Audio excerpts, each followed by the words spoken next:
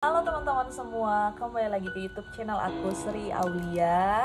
Hari ini aku akan bahas kembali tentang keloid.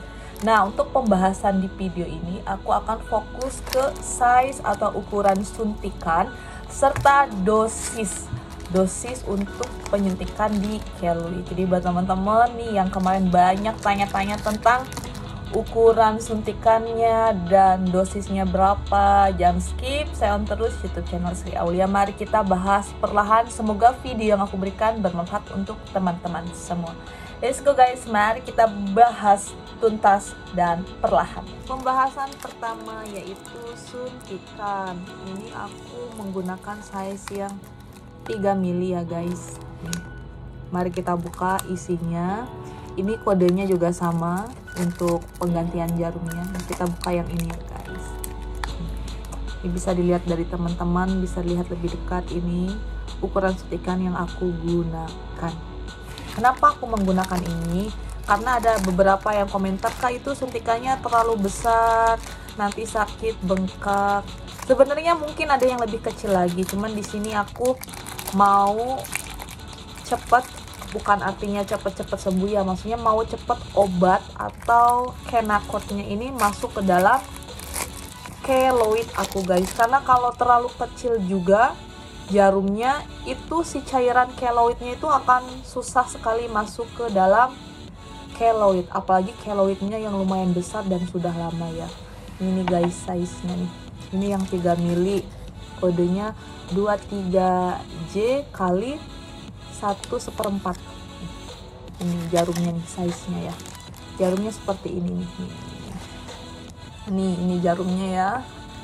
Buat aku oke oke aja dan aku tidak mengalami bengkak juga. Jadi buat aku ini aman banget size ukuran untuk suntik keloid ini guys ukurannya. Oke kita lanjut ke dosis dosis untuk suntik keloid pada saat saya melakukan suntik. Ini berarti harus dinotif ya. Size-nya harus dipertimbangkan atau diimbangi. Berarti kalau mungkin size-nya lebih besar dari keloid yang seperti aku ini, mungkin bisa dua kali lipat dosisnya. Jadi kalau yang keloidnya sama ukurannya seperti aku ini, boleh mengikuti dosisnya seperti aku. Let's go guys, kita masukkan dosis untuk suntik keloid. Guys, kita lanjut ke dosisnya ini masih ada sedikit ya. Jadi mudah-mudahan bisa membantu memberi informasi ke teman-teman semua. Dan semoga mudah-mudahan pas. Bismillah.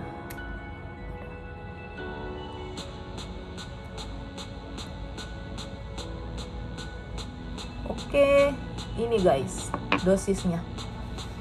Boleh di zoom atau di perlihatkan pelan-pelan ini dosisnya berarti satu per dua atau setengah. Ini guys ini dosisnya. Ini dosis dengan ukuran keloid aku seperti yang tadi aku informasikan ya. Itu untuk keloidnya. Jadi mungkin kalau lebih besar bisa ditambahkan lagi dosisnya dinaikin atau mungkin keloidnya lebih kecil berarti turunin aja lagi dosisnya. Oke okay guys, itu saja video yang aku bakal share atau informasikan tentang keloid dan mudah-mudahan bermanfaat untuk teman-teman semuanya.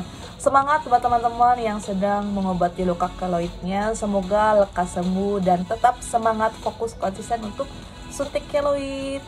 Dadah semua. See you next vlog aku berikutnya. Bye bye.